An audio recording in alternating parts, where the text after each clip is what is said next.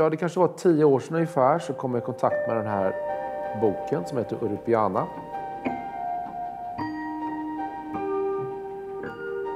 En oerhört säregen och originell bok. Ett vansinnigt försök att på 120 sidor summera hela Europas 1900-tal.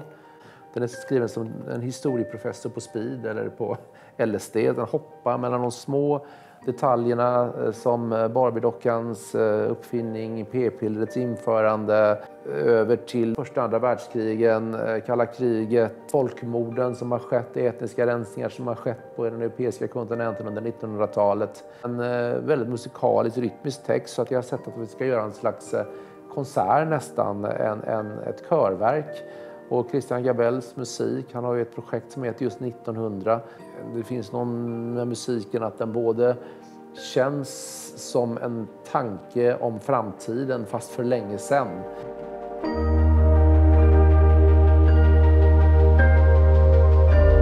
Eh, jag tycker att teaterrummet och en teaterföreställning lämpar sig väldigt bra för att eh, arbeta med det här sättet att eh, gemensamt i, eh, reflektera över det som har varit och var vi befinner oss nu och vad vi ser framför oss komma.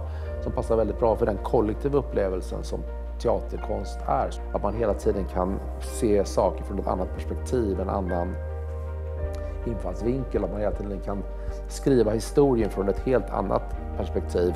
Finns det liksom alternativa sätt att uh, fundera kring historien och finns det vägval som människan kan göra som kanske inte alltid behöver leda till krig och destruktivitet. Det finns ett väldigt liksom eh, att människan inte är låst i någonting utan människan är ständigt föränderlig och det handlar väldigt mycket om vilken eh, social konstruktion du placeras in i och i, i en annan situation så är den personen något helt annat mot vad den var i den sceniska situationen. Så att eh, den typen av teaterlek arbetar jag ju mycket med.